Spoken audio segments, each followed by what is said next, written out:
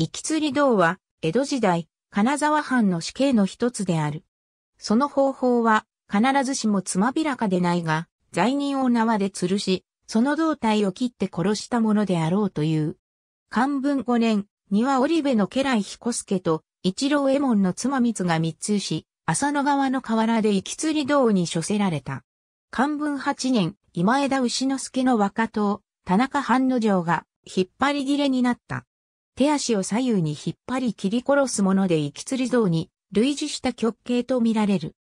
また、江戸でも、孔子ともに行われたといい、大今朝は右肩から左伝部へ一直線に切り下げ、今朝、また中今朝は右肩から左脇腹までを切り下げ、吊るし道は両手を頭上にして吊るし、脇腹を横に一直線に切り離し、離し山は両手を後頭部に縛り目隠しをして、罪人を歩かせながら、後ろから胴体を横一文字に切り離すことを言う。その他、切り方には、句伝があり、各流、各たちの使い方は異なる。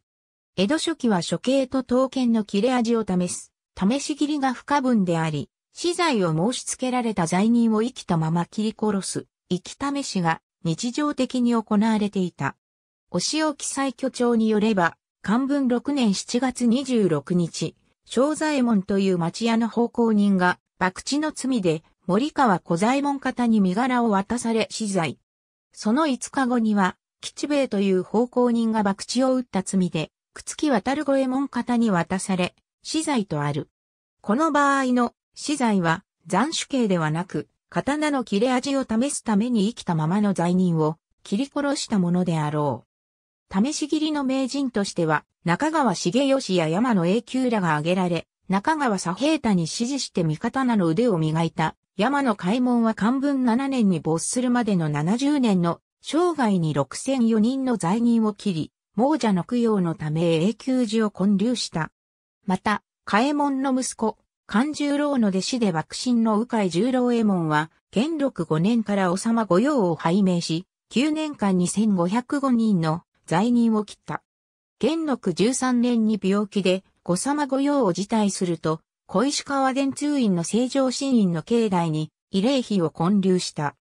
死罪人を試し切りするため武家が幕府や藩からもらい受け、生き試しにする風習は、江戸では宝永頃まで続き、初藩では18世紀の後半頃まで続いた。